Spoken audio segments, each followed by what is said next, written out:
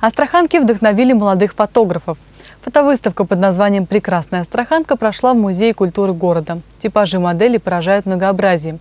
Фотографы признаются, что для них это все же не работа, а любимое дело, без которого они уже не мыслят своей жизни. Их творение оценила Жанна Алиева. Три стенда с десятками портретов. Четверо фотографов собрали свои работы, объединенные общей темой «Прекрасная Астраханка». Настя Барсукова не расстается с камерой со школы, любит фотографировать любимый город и астраханцев. Неоднократно снимки девушки становились победителями региональных фотоконкурсов. Когда появился первый пленочный фотоаппарат и пытались э, заложить туда пленку, быстрее ее истратить, посмотреть же в конечном итоге, что получилось.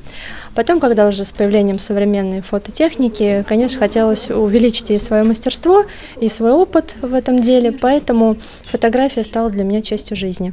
Чтобы получить портрет от этой пары, нужно иметь необычную внешность. Своих моделей Иван и Адель Сосновские ищут в социальных сетях, а иногда и просто среди прохожих на улице. Это просто мое удовольствие. Мне нравится, ну, своего рода коллекционировать, что ли, лица вот, красивых девушек запечатлевшими их в образах. Вот. Он молчаливый кастинг, он нигде не объявляемый кастинг. То есть э, нет такого, что мы ищем модели, потому что в противном случае придется неловко много раз отказать кому-то. То есть мы просто смотрим сами и сами выбираем тех девушек, которые нам нравятся. Ты просмотришь, например, так смотришь, э, много же девушек красивых, и увидела, вот, у нее глаза красивые, пусть, допустим, дальше что-то пойдет не очень, но лицо у нее красивое, значит, можно портрет поснимать. Другая участница фотовыставки Виктория Тамбаева не успела прийти на презентацию, одновременно ее экспозиция открывается в другом музее. Но работы автора говорят сами за себя яркие и неожиданные.